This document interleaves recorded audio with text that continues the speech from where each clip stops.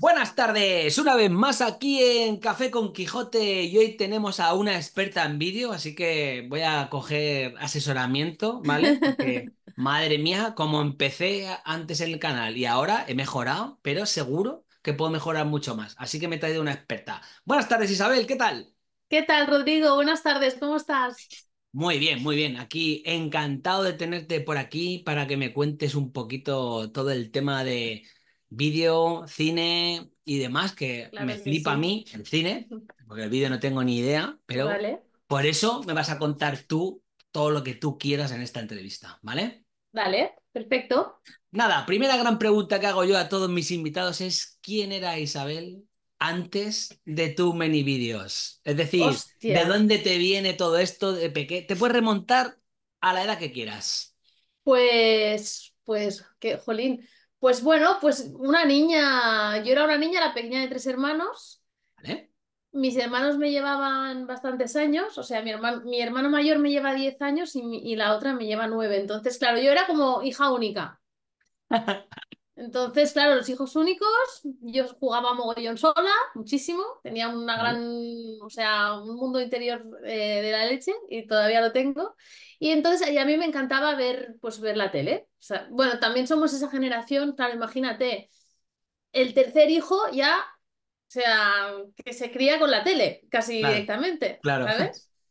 Entonces me aficioné mucho, pues, a, a ver, pues, primero dibujos, luego películas, ya de adolescente cine de autor, cine antiguo, cine clásico, Vale. y al final lo acabé estudiando. Sí, me gustaba muchísimo. Claro, te gustaba tanto que dijiste, esto es lo mío, lo, o sea, lo tenías clarísimo. No, no lo tenía tan... A ver, me gustaba tanto, sí, también me gustaba mucho el tema de la cocina, pero al final reconozco que me tiró más el tema del audiovisual.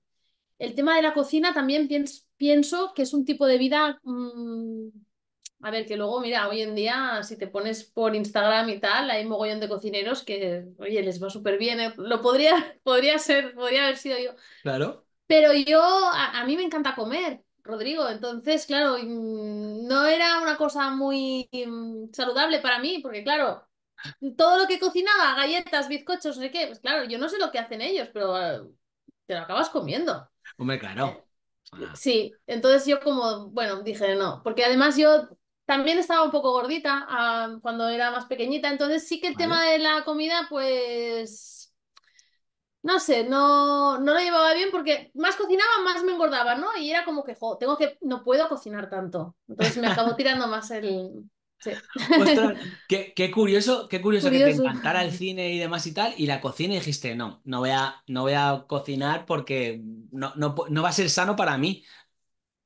Sí, lo pensé, lo pensé, sí, sí, me di cuenta de eso. De hecho, ¿sabes la típica época esa de los blogs? Que Sí. todo el mundo tenía un blog. Pues yo me abrí un blog que ya no sé ni dónde estará, pero que era de platos míticos en películas, ¿no? Ah, vale.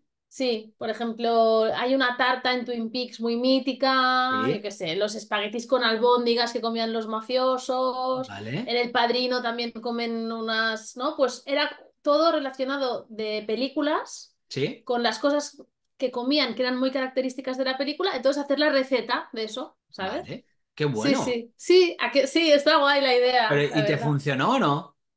Es que no fui muy constante. Claro. A mí- sí.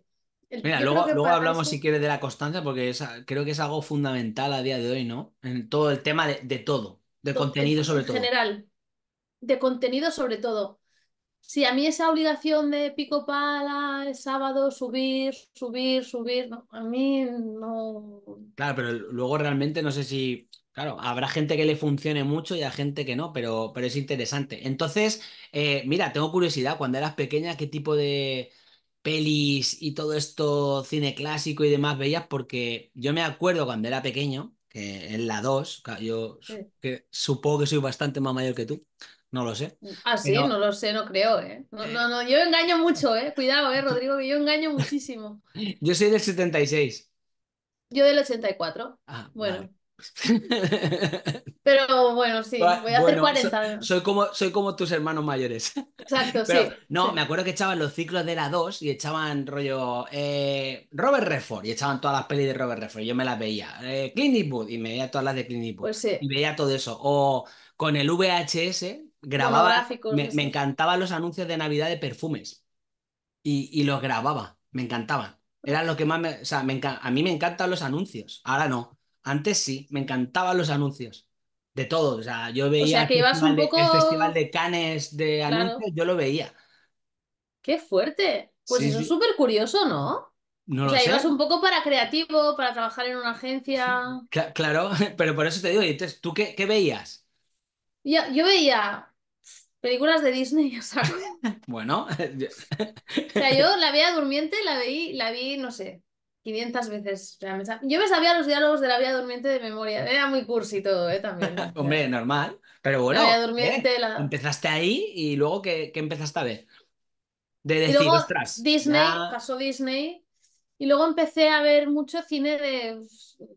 Claro, como al, al ir por la historia del cine, pues claro, te empiezas a ver pues, el cine ruso de los años 20, cine mudo, Chaplin, eh, Groucho Marx, vas, vas tirando de clásicos así como... Vale, Me gustaba mucho el Screwball Comedy, se llamaba, si no sé si te suena. no sé cuál. Las comedias de los años 30, 40 eran unas comedias que, de enredos, comedias de enredos se llamaban. Vale, Y eran súper divertidas. Es que el cine antiguo estaba muy trabajado, aunque ahora te cueste ver una película en blanco y negro, hecha en los Ujú. años 30, eh, claro, en contraste con las películas que hay ahora. claro. Si entras un poquito, hostia, es, es- es cine muy bueno. Hay, o sea, los diálogos, todo, está, los actores, estaba muy, muy trabajado y era muy fino todo. Claro, no, sí, bueno, Em, es, eso en la, en la peli de Babylon se ve, ¿no? Como... exacto, Pero además, sí. luego si quieres contamos de cómo pasaron del mudo al hablado y de repente como actores míticos dices, ostras, no. Sí. Y por ejemplo, Rodrigo, ya, sí, sí, claro, eso pasó. ¿Qué Claro. pasó? Que eran muy buenos haciendo cine mudo, eran súper expresivos, ¿no? Porque Claro. claro, el cine mudo, mudo era súper histriónico y muy exagerado, las caras que hacían, ¿no? Era como se Claro. ponían a llorar y... Y eso funcionaba súper bien. ¿Qué pasó? Que entró el sonido y claro, los actores de cine mudo, expertos en expresión facial, exagerar y tal, daban mm, vergüenza ajena hablando. Porque a lo mejor la voz no era la mejor, Claro, porque tenían unas costumbres a la hora de actuar que no encajaban con... Claro, al hablar ya, es... ya puedes bajar, rebajar y ser más sutil. Buah, esto Claro. pasó, sí, sí. Hay una película que se llama El crepúsculo de los dioses. sí, Pues esa película cuenta bien lo que pasa por encima un poco Babylon, con eso Vale. del, del- Pues es la historia de una actriz sí, que vive en una mansión, ¿no? Que está en la cúspide de, de su carrera y entonces entra el sonido y, y, y- y el crepúsculo de los dioses. y el crepúsculo de los dioses. Y es Vale. muy buena esa peli. Si la puedes Sí. ver, por ejemplo, esa peli es de los años 40 y Sí. es buenísima, la verdad. Es muy Fíjate. buena. Yo la, sí, la disfrutarías. Hmm. Y, y entonces, claro, veías ahí, luego vas viendo lo- demás. Y luego me pasé mucho, mm, cuando yo tenía 18 años, ¿sabes? El trabajo de final de bachillerato, se llamaba Treball de recercar. Sí, ahora estoy recordando, porque ya, claro, ya las optativas que hacía eran siempre de cine. Claro, Y el trabajo de final de bachillerato era de un cine, por- no sé si sabes, por ejemplo, en los años 60 había vari- varias corrientes de, de cine, de, de nuevas, claro, cuando llegó, por ejemplo, los hippies, ¿no? O sea, después de la Segunda Guerra Mundial hubo como una gran depresión y tal en Europa. Y luego empezó la gente, pues creativamente, a, a ser como más transgresora, más vanguardista, y pasó en toda Europa, ¿vale? Entonces, Vale. en Francia había la Nouvelle Vague, no sé si te suena, que es No, no suena. pues, eh, bueno, em, estas películas, eh, ahora, mira, no me vendrá ninguna, pero es, ¿sabes? El Jean-Paul Belmondo, este actor que iba Sí, así con los sí, sí, Jean-Paul pues, con el sí. cigarro, Sí, sí, pues, sí. pues era este, este, este tipo de cine, ¿vale? Que, o sea, bueno, era, era súper diferente, súper moderno, ¿no? En, en Italia hubo otra corriente, creo que se llamaba Nuevo Cine Italiano, y en. Inglaterra había una que era el, el Free Cinema, que se llamaba así, Free Cinema. Y yo hice mi trabajo sobre, sobre el Free Cinema y me lo pasé súper, sí. Qué Y bueno. era, sí, sí, sí, y era eso, pues En Inglaterra lo que pasó es que había habido, les dejó la, la Segunda Guerra Mundial, les dejó fatal. Y entonces en los barrios obreros y tal había, había un panorama muy, muy feo, muy, muy triste, muy chungo. Y bueno, las, la mayoría de películas trataban sobre, bueno, dramas, dramas sociales. de- sí, sí, sí, sí, sí. Bueno, el cine, bueno, el cine siempre ha sido una forma de comunicar, ¿no? O sea, es un reflejo no- también de la época que, sí, eh, de comunicar y de, exacto, de, de reflejar un poco pues el momento de, de, un- pues, de la historia, de lo que sea, del, de, de la gente que lo está haciendo. Sí, sí. Bueno, y entonces tuviste claro estudiar eh, comunicación audiovisual o qué? Sí, no, bueno, a ver, había comunicación audiovisual, pero yo me quería, me quería tirar directamente al cine. Vale, Entonces en Barcelona había la SCAC, que es la escuela de la escuela una que está en Tarrasa, no sé si te suena. no, no. Bueno, pues es allí hay un, por ejemplo, Bayona, Sí, estudió allí. vale, eh, y mucha gente, muchos, pero bueno, digamos que yo creo que Bayona es el más conocido. Y luego había otra que, es el, que, que se llamaba, que estaba en Barcelona, que se llamaba CEC, yo lo hice allí. Y nada, eran tres años, es claro, al final es una escuela privada, es un título privado. Yo claro, estudié eso, sí, sí.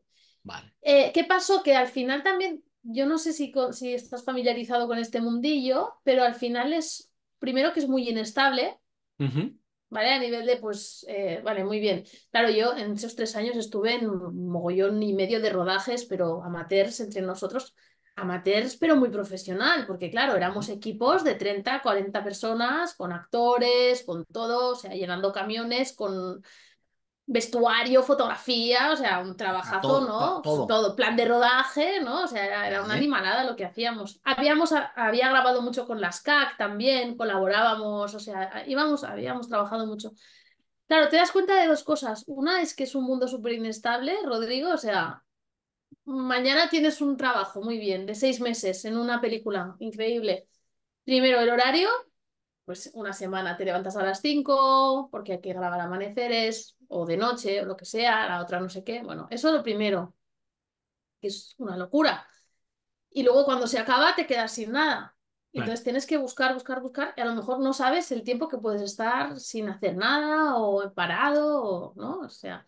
Y claro. luego lo segundo es que para yo estaba como más en el equipo de fotografía, que dirección también me gustaba, ¿eh? Pero fotografía y al final era como también es muy masculino. O sea, muy, es muy de hombres. Sí, el, ci- el cine es muy de hombres. El- los equipos de fotografía, sí, son, sí. En general, a ver, yo creo que sí. Eh, a lo mejor en equipos de dirección, por ejemplo, de maquillaje, vestuario, sí que, claro, te puedes Bueno, claro, encontrar. maquillaje y vestuario me encanta porque dices eso y automáticamente asocias una, Tienen chic, claro, asocias chicas. exacto. Dirección artística también puede ser. Pero bueno, entonces, entre una cosa y la otra, me, me desenamoré un poco de la profesión en sí, ¿no? Vale, fíjate, qué Como. Sí, en el sentido de decir, hostia, realmente yo quiero esta vida, o sea, está muy bien, pero ojo, si yo a la larga, por ejemplo, quiero ser madre, que es algo que tenía bastante claro, o formar una familia, tal, esta es una vida que es compatible, o sea, en realidad Es difícil. dif- es, podría ser, pero bueno, es Claro, o sea, difícilmente, supongo que es difícil, pero claro, si llegas a un nivel en el que ya eres muy referente, entonces no. Pero aún así, claro, dices horarios, ¿no? O sea, un poco compaginar vida sí, laboral con vida personal, ¿no? sí, Es exacto, complicado. sí, es complicado. Y luego, bueno, me salió la oportunidad eh, de trabajar en un festival de música que no sé si le conoces, que se llama Sonar. Sí. Pues sí. Me encanta. No, lo fíjate, lo conozco, pero no he ido nunca. No has ido nunca. ¿No has ido nunca? No, y estaba viendo ahora, mira, te- te- no te voy a mentir, estaba viendo ahora el cartel y yo digo, Sí. ostras, digo, mira, está el Paul Kalkbrenner y la Charlotte esta, y yo digo, mira, digo, está, Mira, son los dos que conocemos. Yo no, no conozco nada, ¿eh? Tampoco. So- o sea, he visto el cartel y digo, vale, no conozco nada. yo solo No. conozco a esos dos, los demás, yo también. Oye, me encanta, ¿eh? Paul Kalkbrenner a mí. mm, sí, sí, encanta. sí, claro, claro, y la Charlotte también, pero que me encanta que Sí. Muchas veces vas a un festival y dices, bueno, salen estos dos, todo lo demás que venga, pues mira, ya está bien, Pues sí, exacto. A ver qué descubro, ¿no? Porque al claro, final. y entonces te metiste en te eso, digo. Sí, sí, sí, sí. Sí, porque. Jo, allí, pues bueno, enseguida me ficharon para hacer como seis meses seguidos. Claro que cuando tienes 23 años es como, wow, 26 meses o, o 20. No, tenía 21, si era súper pequeña. Ostras, 21 ¿y cómo? A ver, oye, cuéntame cómo fue el proceso para entrar, que te llame de repente para trabajar en el Sonar. Sí, pues mira, te lo cuento. Eh, mi hermano mayor, claro, mi hermano mayor, conocía Sí, gente, no sé dónde, cómo fue, pero conocía a una persona que trabajaba allí. vale, Y un verano, el típico verano crisis de los 20 que estás ahí en plan de, ¿qué hago, no? En plan, en verano, me, "Ah, pues venga, voy a preguntarle a este amigo que trabaja en el Sonar. Ah, sí, un amigo suyo que, que trabajaba allí. A ver si, porque siempre necesitan mm, gente joven mm, de tal para estar en acreditaciones o en la barra o no sé qué. Entonces me cogieron para estar en acreditaciones y estuve súper, ¿sabes cuando estás en un sitio y dices, hostia, estuve súper a gusto, me llevaba genial con las chicas que trabajaban allí todo el año, me lo pasé súper bien. Y bueno, y durante el año estaba acabando los estudios y tal, y dije, oye, mira, ¿sabes? Les voy a escribir, en, en plan, en invierno, eh, voy a escribir y les preguntaré si necesitan a alguien para más tiempo, no solo para los días del festival. vale. Y entonces me dijeron, "Mm, mira, va, ven a hacer una entrevista que Dolo, una, una chica de la que llevaba el, el tema de comunicación, Dolo necesita alguien que le eche una mano, sí. vale, Y fui a la entrevista y me cogieron, tío, sí, así de fácil, sí, sí. Y nada, y desde entonces, joder, y 10 años estuve allí. Lo que pasa que intermitente, ¿no? En plan, seis meses, o sea, primero seis meses durante seis o siete años y luego al final estaba todo el año. ¿Y sigues o no? No, ya no tampoco. Ah, vaya, madre mía, sí, madre sí, mía. sí. Bueno, y cuéntame, el Sonar y también has compaginado con el Festival de Sitges. Sí, entonces lo mismo, o sea, también el Festival de Sitges no recuerdo cómo fue, pero empecé trabajando en la taquilla Vale, durante los días del festival y también pues poco a poco, oye, neces- oye, estoy en comunicación aquí, si necesitáis comunicación allá, mucha gente, de hecho éramos, yo empecé, yo creo que fui de las primeras que hacía esto, Sitges y Sonar, pero al final muchísima gente hacíamos las dos cosas, porque claro, cuadraba muy bien por fechas, se acababa de claro. sonar en junio, en, en agosto, septiembre empezabas Sitges, noviembre terminabas y en enero te volvías al sonar. Y de, y de hecho, muchos de, bueno, la- muchas de mis amigas trabajan en, en los dos todavía o en uno de los dos. Qué bueno. Sí, y, y Sitges es muy guay, joder, pero Sitges es un festival, de- es el mejor festival de cine del mundo, esto ya, de- esto de entrada ya. Así, sí. venga, va, cuenta, Así, eh, cuéntame del Festival de Sitges, porque digas que es el mejor del mundo, porque está, siempre todo el mundo habla de Cannes, habla de tal. Claro, pero Venga, Sitges. eso es muy glamuroso. A ver, claro, Cannes no te voy a decir que no, ¿no? ¿Qué más festival así me viene? Bueno, hay El de Málaga. El de Málaga, claro.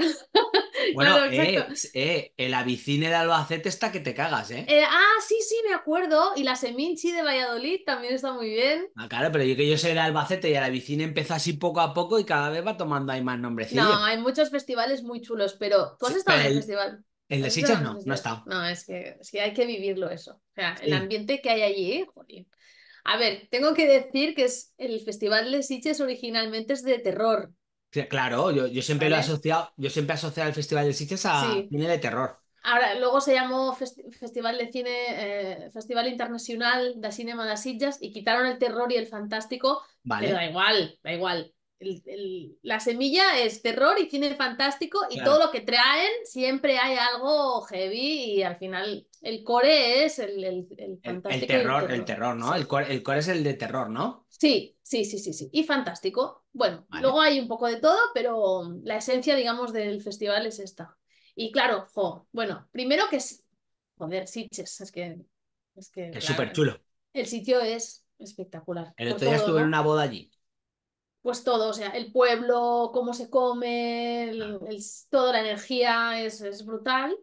Y los cines que hay están cerquita, puedes ir andando, es, ¿no? O sea, coges el tren, estás en un momento, es, es- es vale. como muy fácil Claro, eso te iba a decir. eh, ¿son salas pequeñas? ¿Son salas de las, de las de antes? Sí, sí, son salas antiguas. Sí. Hay tres cines, el auditorio, que es el más grande. Este es nuevo, bueno, nuevo, es del 99 o así, ¿eh? Nuevo, 25 años. ¡Nuevo! Sí, exacto. 25 años. ¡Wow! 25 años, tío. Sí, sí. O sea, está bien, el auditorio es muy grande, el sonido es muy guay, o sea, las butacas son cómodas, la pantalla es grande, está muy bien. Pero Claro. claro, el Prado y el Retiro son cines de los años 60. Qué bueno, se llaman Prado y Retiro. Sí, Muy el Cine madrileño, ¿eh? Prado, sí, sí, sí, sí, sí, es verdad, es Claro. verdad. No había pensado, el Cine Prado y el Cine Retiro, son, sí, Mira, sí, seguro que ahondamos ahí, seguro que ahondamos ahí y fueron unos madrileños los que lo fundaron. Fijo, lo tengo, no, lo voy a investigar después, ¿eh? Cla- Claro, o sea, Prado, Sí. Prado y Retiro, o sea, no puede ser otra, ¿eh? No, no, ya te digo, no, no, es curiosísimo esto, ahora me, me ha picado mucho la curiosidad, es verdad. Pero bueno, son salas súper antiguas, planas, Sí, o sea, que vale. estás ahí como en plan de, si Que, se que te pone alguien que te alto toca uno delante. alto y tienes que estar como Sí, ahí, ¿no? sí, sí, y eso. Pero aparte de eso, ya te digo, la gente que viene, fans, son muy fans, tío. O sea, fans del cine fantástico y de terror, pero fans de, de de este festival. Y claro, cuando vas a un festival, normalmente antes de que pongan la peli pasan como el spot del, del año, o en este caso en Sitges ponen la careta porque la, la, mas- bueno, mascota no se llama así, pero la imagen del festival es el, el King Kong. Sí, ¿Vale? Pues siempre sale un King Kong animado haciendo... Entonces, claro, cuando sale esto, la gente se vuelve loca. A aplaudir. Claro, hostia, esto, ver una peli así, con esta energía, la gente tan Claro. contenta de estar allí. Y luego, lo mejor, y, y bueno, cuando hay pelis de terror, no sé si, por ejemplo, has visto La huérfana o alguna peli de estas, ¿te No. suena? Bueno, cuando hay pelis de terror, que siempre sale el típico personaje malo, que machaca, que lo Sí. estás viendo, que se merece una o lo que sea, que le corten la cabeza o lo que sea, o que le, que le metan un guantazo La gente y que gritando está, que. y que está toda la peli ahí dando por saco y al final cuando por fin lo pillan y le dan su merecido, la gente es la gente vuelve loca. O cuando sale un chorro de sangre, todo el mundo aplaudiendo. ¡Ah!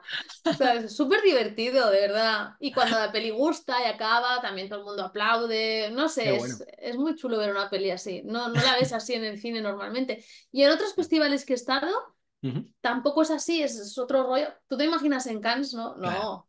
La gente es más formal, es más, ¿no?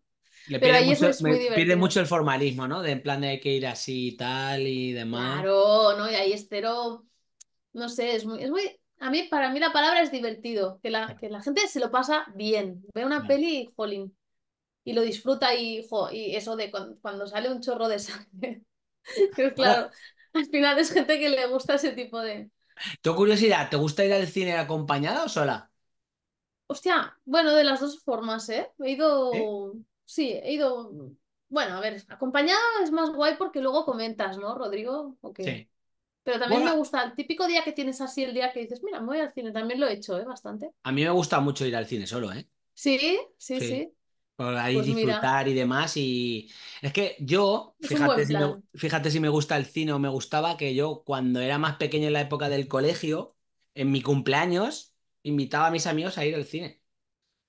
¡Qué mono! Mi, mi hijo también ha hecho esto la última, le gusta mucho y hace lo Yo mismo. hago eso, yo invito a mis amigos a ir al ¡Qué cine. Bonito! merendamos antes o después y veíamos una peli que la película que había ese estreno, ¿qué tal? ¡buah! Y- Íbamos al cine todos. Pues es un planazo sí, pero luego, sin embargo, como me gusta mucho disfrutar el cine, hay a veces que no me gusta ir con gente, entonces me voy solo y a mi rollo y la disfruto ahí y demás. Pero claro, ahora vamos a hablar de- del cine si quieres y vamos a un Sí, sí, poco sí, sí, Siche, Sonar y de repente ¿qué haces? sí. ¿Qué, en qué momento dices cambio o me dedico a lo mío, a mi imagen, a mis Sí, cosas? sí. No, entonces, claro, yo como, claro, al final yo entré allí un poco, a ver, mm, de casualidad no porque lo busqué yo, pero bueno, también no era lo que yo, ¿sabes? Lo que yo tenía ahí dentro, claro, al final, en comunicación, marketing, acabas haciendo mucho, pues, plan de marketing, plan de comunicación, Fíjate. es divertido, o sea, había cosas que me gustaban mucho porque tocas parte, la, la parte creativa, o sea, tú estás en el proceso creativo y ves como, por ejemplo, pues venga, los anuncios, claro, antes había muchos anuncios en revistas, publicidad de calle, ¿no? Autobuses, no sé, bandarolas, cosas, hacíamos todo, todo, el, las, eh, la web, todo el contenido, o sea, había muchas cosas que me gustaban, pero también había cosas que yo notaba que yo digo, hostia, a mí esto, ¿no? Lo típico que dices, oh, hostia, aquí me falta, me falta eso, me... yo ya lo sabía, pero claro, al final también. Entonces, por circunstancias aguantas por unas cosas, por otras, porque mi pareja estaba con unos estudios. Bueno, a, a veces la, la, vida, cada cosa tiene su momento, ¿no?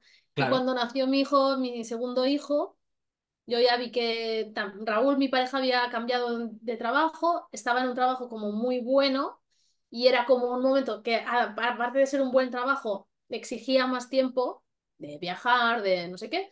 Entonces yo dije, hostia, ahora, ahora, ahora yo dejo esto. Y tampoco sabía muy bien, ¿eh? Pero digo, yo voy a intentar, intentar dedicarme al audiovisual. Pero a mi manera, o sea, trabajando para empresas. Vale. ¿Sabes? Sin hipotecarme, aquello de decir, eh, trabajar para terceros, ¿no? A mi vale. bola, de, de, buscarme yo mis clientes y ir un poco a mi, a mi rollo. Pero, eh, confianza, que yo decía, a ver qué sale de aquí, ¿eh? Mm, cuidado, no sé, claro, no sé, yo estaba cagada en el fondo, ¿no? De decir, bueno, lo hago, pero... Ostras, ¿y te lanzaste con, con recién nacido tu segundo hijo? Sí, bueno, no, cuando nació él, yo ya dije, ahora voy a estar con él, porque Raúl no estaba, entonces digo, a ver si él no está, tiene que estar bien en casa. Claro. Sí, claro, es que él viajaba mucho en aquella época, ¿no? Y entonces yo como ya tenía ganas de dejarlo, pues dije, bueno, pues ahora voy a estar con mi hijo y con mi, estoy, estar con los niños en general. ¡Ey! Ama de casa. ¿No? Vale, no, no, pa eh, no pasa absolutamente nada. Mira, ahí podías haber hecho un canal de cocina. Ahí perdiste la oportunidad. Perdí la oportunidad, tío. Tendría eh, dos millones de seguidores ahora. Estaría Oye, todo el día eh, haciendo reels. Nunca, nunca se sabe. No, no, sí, sí, ya lo sé. De hecho, no. Pero a mí esto de hostia, cocinar, no sé, no. Cocinar así. Yo, no sé, no, no, no lo veía, no, no me veía tampoco. No sé. Pero lo podría haber hecho, sí, sí. Y, y eso pues fue elegido, ¿eh? Estuve dos años con los niños un año y medio a full y, el, y, el, y luego ya a final del año y medio, que es lo natural al final, porque ya no te, poco a poco se van despegando, Claro. pues empecé, bueno, ¿cómo lo voy a hacer? ¿Qué voy a hacer? Y bueno, y al final salió esta idea. Sí, sea, bueno, pues danos la idea, porque para la gente que no te conozca dirá, Sí. ¿qué idea salió aquí Isabel que hizo? un día, sí, un día estaba comiendo con unos amigos y, y, y estábamos pues hablando, no, pues, pues Isa, ¿y ahora qué vas a hacer? Y yo decía, pues no sé qué voy a hacer, porque claro, ahora dejé este trabajo y sí que me gustaría hacer algo de esto, pero, y mi amiga me dijo, pero, pero hazlo ya, tía, o sea, ¿sabes la típico, típica conversación con una amiga que te dice, es que además se te da de puta madre, haces unos vídeos increíbles, es que no sé qué estás haciendo, pero es que Claro. empieza ya, y yo, ya, y, y yo entonces dije, no, o sea, fue como clic. Y un día estaba con. esta- mira, estaba dando el pecho a mi hijo, acostándolo. O sea, lo estaba poniendo a dormir. Y estaba ahí con él, no sé qué, y ahí te vienen muchas ideas en ese momento. A mí, a- por Vale. lo menos a mí siempre me venían. Entonces me vino un nombre y dije, Too Many Videos. Y dije, wow, este nombre. ¿Sabes? Claro, el rollo música electrónica del Sonar, Too Claro. Many DJs, nos, Sí, sí, a sí, mí sí. me gusta, ¿no? Y dije, Too Many Videos. Hostia, qué nombre tan bueno. Dije, hostia, este nombre. Y pensé, Buah, seguro que está pillado, ¿no? Y claro, me levanté, fui al ordenador, dominio. Ostras, este dominio está libre. Me lo compro ya. Digo, mira, no sé lo que voy a hacer, pero el nombre lo tengo. Oye, qué, entonces qué- lo qué buen, todo. qué buen nombre pillaste, ¿eh? Sí, me encanta, la verdad. No, no, es que Es- muy chulo. eh, mucha gente me dice, ah, el nombre. Y, y yo no he sido una tía siempre súper creativa con los nombres, ¿sabes? De. No. Eso fue como, te lo juro, ¿eh? Me vino, me vino, pam, es que se me puso aquí y encima que estaba libre, que es lo que me extrañó más, porque, a ver, los americanos, tío, Sí, ¿cómo no han cogido ese nombre? Es que tumanyvideos.com, yo pensé que, ¿cómo puede ser que no esté cogido este nombre tan guapo? Claro, además lo que has dicho tú de Sí. Too Many DJs, o sea, de- o sea, estaría asociado a todo. Dijiste, nada, esto es imposible. Claro, y al ver que estaba libre dije, lo, co- lo compro ya y ya, ya. Entonces, ya veremos. como, ya veremos, no, entonces me hice una web, ya no, ya lo hice to- todo yo, todo yo auto, porque además mm, me gusta el rollo, mm, bueno, de aprender, hacer cualquier cosa, o sea, tecnológica y tal, y me puse, hice la web y al principio empecé ofreciendo, imagínate, vídeos familiares. Vale. O sea, vídeos, sí, sí, del rollo, vale, pues mándame lo que has grabado estas vacaciones.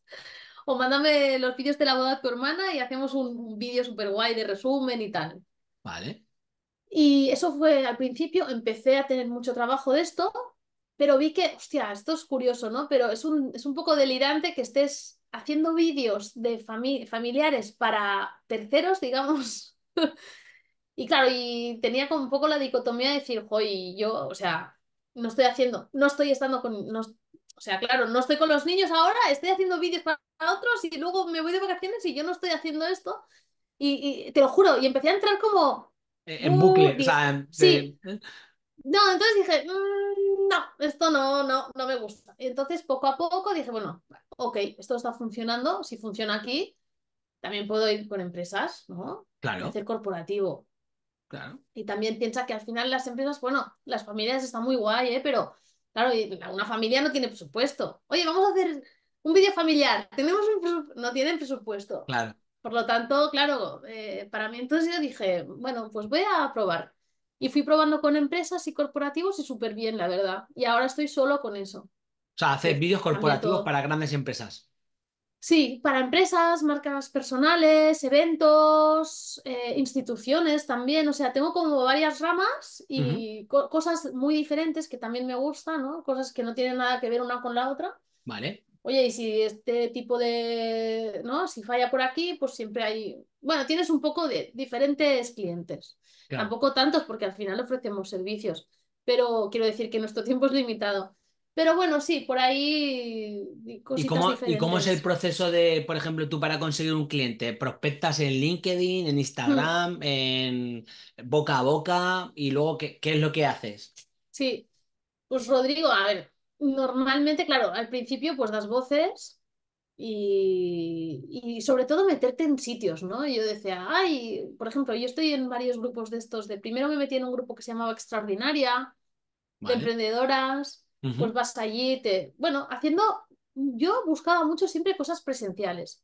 Vale. Creo que es lo que mejor a mí me funcionó.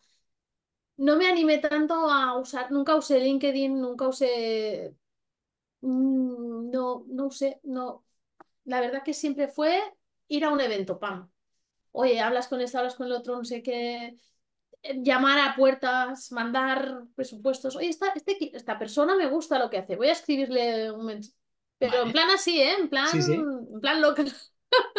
Oye, me encanta lo que haces. ¿Te necesitas o te hace falta? O, hostia, los vídeos que haces son muy chulos, me gustaría ayudarte, cosas así. Y así me fueron saliendo cosas y al final te van saliendo cosas y vas conociendo gente, vas conociendo gente, porque trabajando conoces gente y entonces ya es como que nos, no, ya cuatro años sin parar. Sí, sí, Fíjate. sí. No, pero está, está muy bien. Y claro, mira, por ejemplo, eh, yo que soy copywriter, eh, ¿qué crees, es funda- ¿crees que es importante la figura de un copywriter? ¿Es igual que la de un guionista? Porque tú haces los guiones. ¿cómo lo haces? No, no, yo. mm, no, no, yo no lo hago los guiones. O sea, buscamos un copywriter para hacerlo. Es súper importante que si quieres hacer un buen trabajo, con un buen mensaje, todo esto tiene que estar previamente trabajado. Y, Claro. oye, no lo voy a. A ver, sí que, sí que lo que hacemos es, oye, a lo mejor el cliente tiene su copywriter y te dice, mira, yo tengo esta propuesta de guion. Y tú dices, vale, tú tienes este guion, vamos a hacerle una pasada audiovisual. Vamos a adaptarlo al audiovisual pero siempre partiendo de un trabajo que ha hecho un profesional trabajando con ese cliente, con esa persona en profundidad, con el mensaje, el, el tono y todo, porque yo, y muchas veces también lo que me ha pasado es que, ah, pues no tengo guion, digo, bueno, pues tendremos que contratar a una persona que nos haga el, el guion. Sí, claro, sí. claro. No, no, es que, En ese ver, sentido, hmm, e- es que muchas veces cuando hablamos de los copywriters y, y hay gente que dice, hombre, pueden escribir guiones. Y claro, yo creo que hay mucha gente que asocia guionista con cine ah, copywriter con otra cosa. Y no sé si es hay una delgada línea o puede ser, no puede ser. para mí un copywriter, ¿no? O sea, al final es una persona que domina el lenguaje verbal y te puede preparar un guion, te puede preparar un texto para una web. A ver, una cosa es que tú digas, no, yo es que soy copywriter especializado en Ya, páginas de venta. claro, Bueno, pues, ¿sabes? Pero es como yo, yo por ejemplo hago vídeos, te puedo hacer cualquier vídeo, te puedo, el otro día fuimos a grabar una fábrica, también te puedo grabar un evento, también te puedo grabar, o sea, y te puedo editar un anuncio para Instagram. Bueno, es que al final Y con somos el, profesionales de esto. claro, y ves, ves súper importante, claro, es que eh, ¿cómo ves el auge del vídeo? Que creo que lo pones en tu página Sí. Que, Hay que mucho hay, auge. un- hay una barbaridad, ¿no? Sí, hay una barbaridad, la verdad. Bueno, ayer hablábamos, estuvimos en una agencia y el chico, una agencia de marketing, y el chico nos explicaba que la gente está a una media, Rodrigo, de como de cinco horas en Instagram Sí, viendo historias y vídeos, tío. Y es sí, que me quedé loca, loca. Digo, pero El, eso es muy loco. el otro día, el otro día vi yo una estadística que había eh, 95 millones de vídeos diarios. claro, tío. Es que es una Eran animalada. seis mil, seis mil y pico por segundo. Hmm, O sea, un una, un- un auténtica disparate. locura. Es una locura. Yo estoy un poco peleada con eso, porque claro, al final yo pienso, ostras, es que como sociedad somos unos zombies. O sea, Claro. no sé, es que no, Claro, pero mira, eh, vamos a hablar, vamos a hablar un poco de eso. Tú haces un anuncio, ¿crees que tiene que ver, tiene que, es muy importante el gancho inicial con las palabras, no con la imagen? ¿O es un conjunto de primero la imagen y luego las palabras? ¿Cómo, cómo lo ves? Porque yo he estado estudiando ahora eh, sí. ganchos y el gancho siempre es la frase o tal, no a lo mejor la imagen. O es una, o es un mix. Yo creo que hay que ser original, ir cambiando y es súper importante que haya un gancho. Sí, súper importante. Pienso que con palabras, no estoy muy especializada en eso. Ostras, ahora me da rabia porque estuve hace poco en una conferencia y había un tío especia- especialista en ads de TikTok y tal, y hablaba, y estuvo hablando mucho de esto, de los ganchos. Lo que pasa que era en alemán y no me enteré, no me pude, sí, pero sí que me fijé que dijo que había como tres o cuatro tipos de ganchos. Y el verbal sí es muy importante. Luego no sé si había uno visual, pero lo que veo, y ya te digo, hablando con el chico de ayer, por ejemplo, en esta agencia, lo que funciona hoy, lo que te funciona hoy, a ver, al final la base está clara, tiene que haber un gancho, pero no puedes hacer siempre el mismo, ¿no? O lo mismo. O es que se pone de moda una cosa y todo el mundo empieza a hacer eso y sabes que eso al cabo de dos meses ya la gente es como que se inmuniza, ya lo ve y ya no lo ve. Es claro. como, y pasan, porque ya lo han visto tantas veces, ya se están dando cuenta de que es una estrategia para publicidad o para no sé qué. Y Claro, yo, yo había escuchado, por ejemplo, original. también que como la atención ya cada vez es nula, como que en un vídeo, en un short de un minuto Sí, o de 60 segundos, un reel, lo que sea, cada tres cuatro segundos hay que cambiar de plano o de transición o de lo que sea, que es claro. cuando ya justo el- la persona se va ahí, pum, 3 segundos, cambias de plano, pum, cambias de tal, para tenerlo enganchado todo el rato. Sí, eso es así porque al final la vista y la gente eh, está eso, está como atontada y necesita, claro, cambios de atención, cosas bruscas, cosas que, que por ahí te despierten un poco. Pero ya te digo que al final también el mensaje a nivel de copy es muy importante, porque al final te tiene que interesar.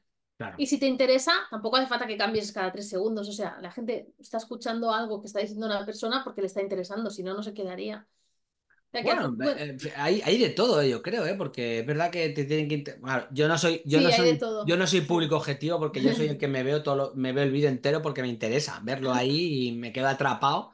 Pero es curioso que el algoritmo, en cuanto te quedas atrapado en un vídeo más de X segundos, ya empiezan a meterte los mismos. Sí. Y la misma temática, y eso es alucinante, ¿eh? Ostras, bueno, sí, claro, cuando, le das a la lupa, ¿no? De buscar, quieres decir, No, no, no, no. Tú, por ejemplo, eh, a ver, yo, yo consumo mucho TikTok porque me gusta. Vale. Tú Ah, vale, pongo a, claro, claro, me claro. pongo a Es que ver. yo nunca entré en, en TikTok. ¿No? No, es que no, es que me, me da miedo.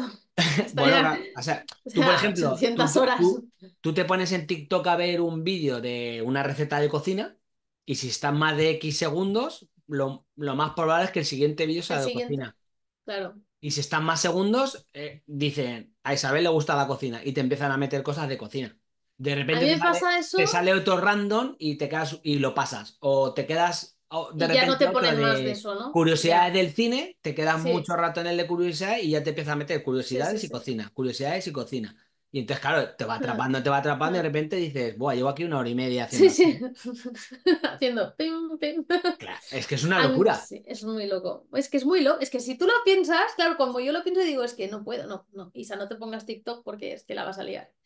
Si yo ya con Instagram digo, ahí está, porque yo, o sea, claro, yo por ejemplo, lo que me has contado me pasa con la lupa de o sea, le doy a buscar en Instagram lo que sea y entonces veo que me digo, joder, sí que me conoce el algoritmo porque a mí, por ejemplo, solo me, me salen cosas de cine Vale. antiguo y tal, como trozos, ah, bueno, antiguo o, o, o, actual, pero trozos de pelis y mmm, Brad Pitt. O sea, mi de esto es todo. Es increíble, digo, me encanta la lupa, porque entro y digo, es que Claro, claro, no, no, nos tienen muy, muy atrapados, muy atrapados. Y Sí, bueno, eh, una cosa, ¿cómo ves el tema de la inteligencia artificial con el tema de vídeo? Porque yo ¿eh? es, es cuidado, ¿eh? Sí, sí. Mira, yo creo que hay que estar al día y hay que estar ahí. Ahora viene un... Bueno, es que tendría. No sé si va a salir ya, ya, ya. No sé si conoces Sora, Sí, claro.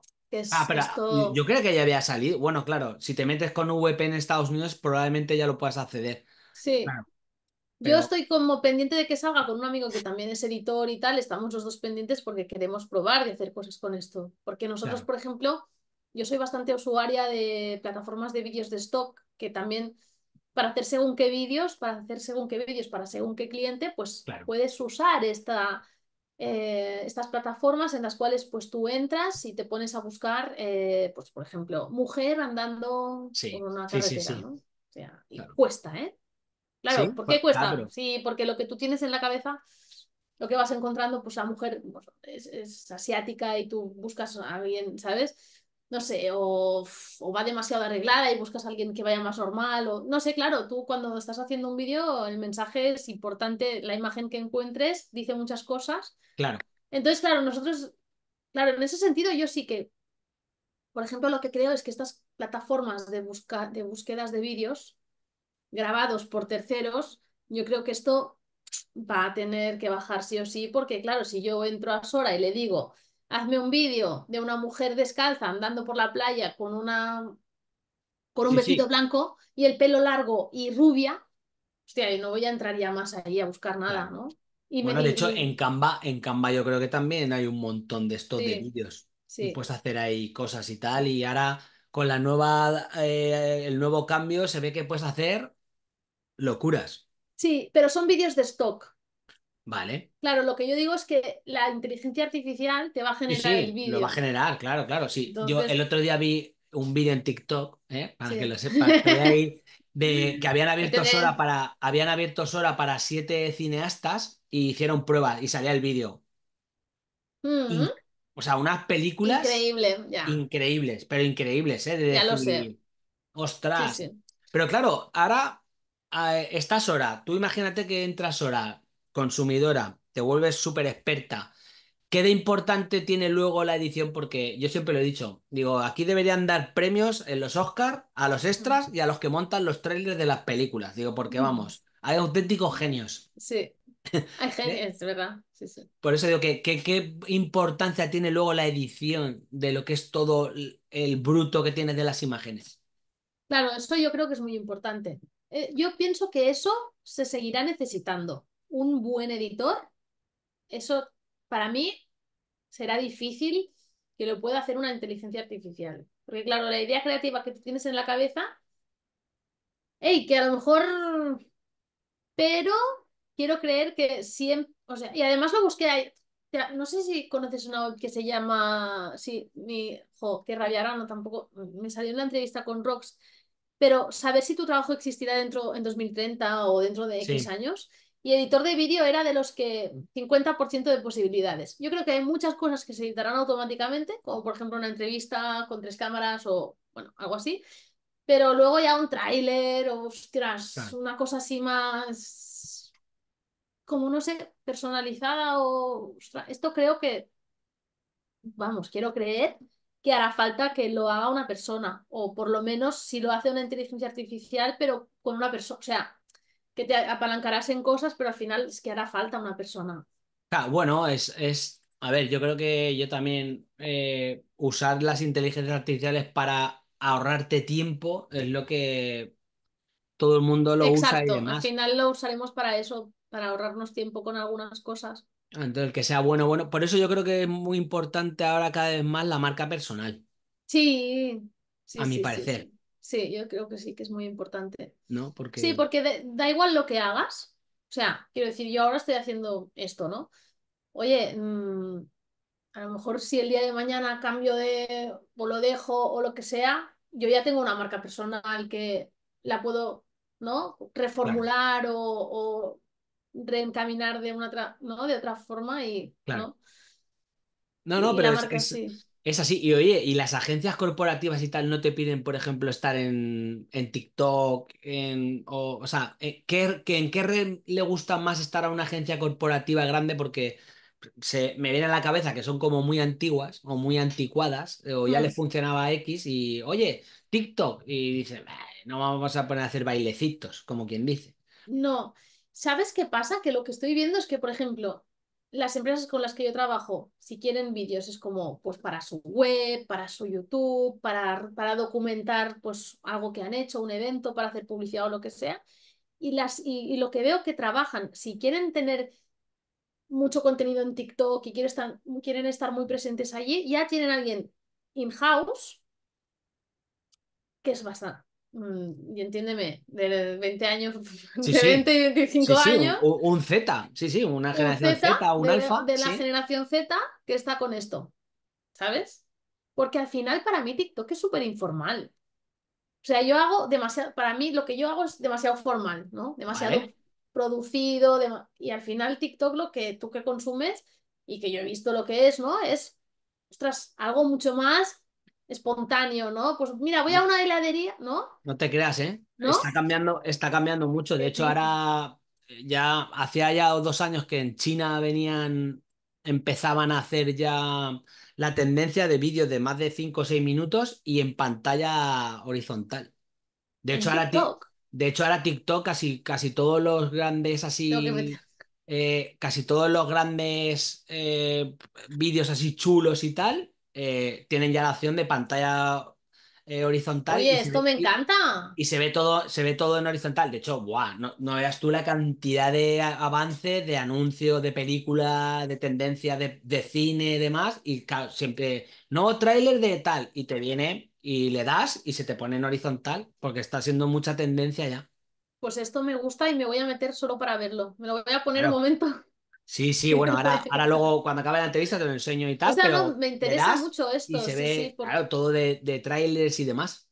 porque lo digo porque en Instagram eh, lo tienen metadísimo el horizontal. Es como, no, todo vertical, todo, hay todo, sí, vertical, todo vertical. Y, y dices, Pues, a ver, ¿pero por de, qué? O de hecho, sea, de hecho, yo creo que cada vez la tendencia y, y en breve yo creo que me cambiará. gusta En, esto. en Instagram y demás será de más largos, muy importante el storytelling, la historia, la historia que cuentas y tal. Y en, en Instagram no, pero en TikTok. Ah, mira, te estoy enseñando yo a ti en vez de tú a mí. Me estás enseñando, no, pero me encanta, claro, hombre, al final, ¿quién lo sabe todo? Nadie, No, nadie no, puede está, saberlo. está, Está, está muy guay. está guay, pero ya te digo, ahora luego te lo enseño, que vas a decir, ostras, o sea, está Y muy guay. además sí me, me interesa. ¿Sabes? Es que lo que me he dado cuenta, por un lado, te lo decía también porque al final veo que el vídeo, yo es claro, yo estoy más en, en Instagram. Lo que veo que se está haciendo más viral, más, lo que más funciona, no sé qué, porque ahí es todo vertical y no hay esto que me estás diciendo. O sea, es muy, bueno, no, no está esto. Pero lo que veo es eh, un vídeo muy chorra de alguien que está hablando a cámara y contando cualquier tontería, o, pero Claro, cosas Vale, que pueden tener una estrategia y estar preparadas, pero no hay un storytelling, no hay claro. Claro, pero eso es, claro, a ver una cosa, que también te digo una cosa, con el tema de la inte- inteligencia artificial, yo creo que todo el contenido de vídeo y demás se está democratizando. Entonces, claro, el que es bueno eh, va a ser mucho mejor y el que es Mm, malo, mm, evidentemente no va a llegar tanto, ¿no? ¿No crees eso? mm. Sí, sí, sí, totalmente, totalmente. Pero ya te digo que a mí me da la sensación de que, que a la que tú ya ves un, un anuncio, primero un anuncio, si tú ves que es un anuncio, no te lo hay, hay anuncios en TikTok Sí. y no los pasas tú directamente. Hay algunos que sí y otros que no. Vale, vale, vale, vale, Es vale. que hay cosas muy chulas. Sí, ya, ya. Jo, me está entrando mucha curiosidad No, por es que, claro, claro, es que ya hay muchas, muchas empresas muy grandes que hacen muchos anuncios ahí. claro, Por eso claro. te digo que Pues ahí sí, tienes pues sí, ahí, tienes ahí- te acabo de abrir una vía de sí, decir, ostras, sí. Yo lo que ya te digo, lo que estaba viendo es que me daba la sensación, por lo menos en Instagram, de que cuanto más cutre, menos preparado, más viral y más alcance y más todo. claro. Tam- también dicen, ¿eh? También dicen que ahora premian ya mucho más la, natu- la naturalidad y que no sea todo Sí, tan súper, hiper preparado Mm, y demás. Es un mix. mm, Yo creo mm. que ahí puedes encontrar un punto intermedio y, Sí. y Es encontrarlo. un mix y al final desde donde tú lo haces, ¿no? Es decir, Claro, ostras, si es algo genuino, que te sale de dentro, que te lo estás pasando bien, que claro, cuando es un poquito impostado y un poquito forzadito, claro. la gente lo notamos y decimos, no, no sé. Sí, sí, En cambio, cuando cuando es ahí algo que muy... es, es ahí curioso, pero bueno, pero está muy bien. Entonces, ahora, a día de hoy, vídeos corporativos, te va guay. Sí, Venga, momento spam de valor, como digo yo, que ya llevamos casi una horita, ¿eh? Pasa rápido, ¿eh? ya, ya. Momento spam de valor de Isabel en Too Many Videos. Cuéntame. O proyectos o cosas. Pues la verdad que no sé qué decirte ahora, eh, pero spam en qué ¿Dónde sentido? se De... pueden encontrar? Ah, vale, sí, sí, Claro. escriban Redes. redes en LinkedIn, Isabel Castells. Cuenta, cuenta, Isabel. Venga, a ver, a ver, a ver qué te, a ver qué buen, buena vendedora eres de ti misma. Uh. Eh, así, así mal, seguro. Pero normal, natural, mejor. No, pero yo qué sé. No, a ver, si, si, porque yo lo digo siempre, sí que al final eh, uno no sabe tampoco lo que necesita. A veces nos pensamos que necesitamos un vídeo de, o una campaña de publicidad o, o yo qué sé. Y al final solo necesitamos entender qué necesita nuestro proyecto en ese momento y qué formato que nos creemos que tenemos que estar en YouTube, Instagram, en tal. Y al final, oye, ponte una web. Tienes que usar el vídeo, esto lo sabes. No puede ser cutre. Entonces, si tienes una web, ponte dos o tres vídeos que, de- que reflejen un poco, pues tú quién eres, qué estás ofreciendo. El vídeo da mucha confianza. Y al final, eh, yo creo que, que es muy importante. Y a nivel, y hay muchos formatos, entonces. No nos volvamos locos por lo que tú decías, oh, hay mucho auge del vídeo, tenemos que hacer vídeos y tenemos que estar aquí y allí en TikTok y no sé qué. Bueno, no, es que depende de cada marca, de cada proyecto, de cada empresa, de cada, de todo, de muchas cosas. Entonces, por un lado, eso, asesórate bien conmigo si quieres, me encuentras en, claro. en LinkedIn, Isabel Castells, también en Instagram, tu many vídeos y, y, y en mi web que está en construcción que la tengo que... ¿Sabes qué me falta en la web, Rodrigo? Los trailers, Ah, de... estoy vale, haciendo como unos trailers, lo que decíamos, de cada tipo de vídeo que yo hago, vale, porque me interesa que cuando tú vayas a mi web digas, ostras, mira, Isa hace estos vídeos de eventos, ¿no? Y veas un tráiler con cinco o seis imágenes y te hagas una idea del tipo de... Claro, si tú tienes un evento, ves eso y dices, claro. Hostia, sí. yo quiero que alguien me grabe el evento así, ¿sabes? Porque claro, también te Bueno, digo que igual, igual cuando salga la entrevista ya está tu página a tope. ojalá, sí, vale, Te tienes que meter va. caña. ¿Nos ponemos un deadline o qué? Bueno, tú pon el deadline que quieras. Venga, esto tú, aquí, ¿cuándo lo vas a publicar? Tú dos la fecha que lo... Venga, dos va, semanas dos o por ahí sale. hecho, ya está. Dos, tres Vale, semanas sale. Así que, así que vale, nada. perfecto. Pues oye, Isabel, eh, muchas gracias por este ratico. ¿eh? Perfecto. Te- eh, he Gracias aprendido mucho de ahí de cine. Mira tú que a mí el clásico, el cine clásico no me gusta, Vale, pero pues, me gusta todo. Mira que veo de todo, ¿eh? Alemán, coreano, chino, lo veo todo. Me da igual. Pero el clásico nunca me llamó la atención, no sé por qué. pues en Sitges, en Sitges hay mucho cine coreano. Sí, bueno. Sí, pues a- bueno. a ver, All Boy, ¿la has visto? ¿El cuál? All Boy. Hombre, All claro. Boy. Sí, Ah, vale, es que te digo, yo la vi en Ah, Sitges esta peli. ¿Ah, sí? ¿Sabes la gente cómo estaba loca viendo eso allí? Pero Esa loca. peli, Es que esa es peli buenísima. es Esa peli es espectacular. espectacular. Pero bu- bueno, y luego la de Parásito fue la que le dio, Sí, sí, sí, Parásito sí. fue, le dio ahí mucho bombo a todo y tal, pero Muy bueno, buena, Parásitos también, sí. así que nada. Pues nada, Isabel, muchísimas Venga, gracias Rodrigo. por este ratito. Ahora, ahora nos quedamos un rato hablando y te enseño el de Sí, TikTok, ¿vale? perfecto. Y nada, Genial. nos vemos por las redes, ¿vale? Sí, genial. Muchas gracias, Chao. Rodrigo. Chao, chao, chao.